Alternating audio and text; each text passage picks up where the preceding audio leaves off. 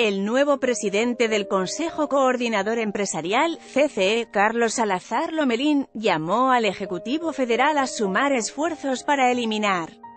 la pobreza extrema en seis años y hacer de la inversión, una obsesión, para alcanzar un crecimiento económico de 4%, al tomar protesta al cargo para sustituir a Juan Pablo Castañón, el empresario se dirigió al presidente Andrés Manuel López Obrador para hacerle dos propuestas en el arranque de su gestión al frente de esa cúpula empresarial.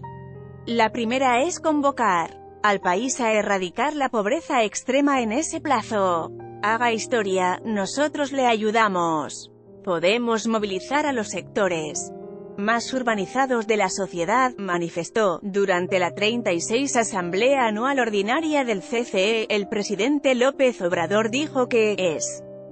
muy importante contar con el apoyo del sector empresarial, lograr entre todos que haya crecimiento de la economía, eligen a Carlos.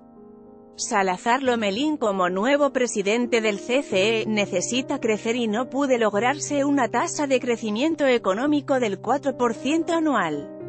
En promedio, si no se cuenta con la participación del sector privado nacional y extranjero, sostuvo AMLO, de esta manera, anunció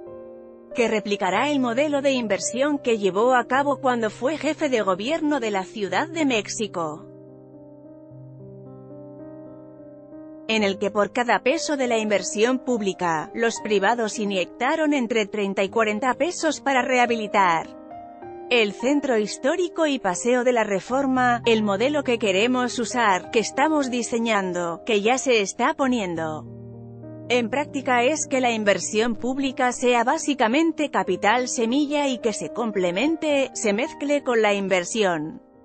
privada nacional y extranjera, esto tiene que ver con la tradición de economía mixta que ha dado resultados en el